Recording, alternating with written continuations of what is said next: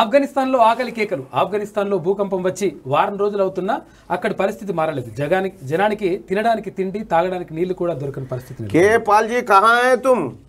చలో కే పాల్ గారు దేశాలను యుద్ధాలను ఆపినావు తిండికి అల్లాడుతా ఉన్నారు ఆఫ్ఘనిస్తాన్ కాడ. ఎటు పోయినావు జర సోంచో ఉస్కే బారే మే ఫోన్ చేస్తే లేపుతలేడు. నేను ఫోన్ చేస్తే నేను ఏడా? నేను ఫోన్ చేస్తే ఏమంటాడంటే ప్రెసిడెంట్ ఎలక్షన్లలో బిజీగా ఉన్నా రాష్ట్రపతి ఎలక్షన్లలో అంటున్నాడు.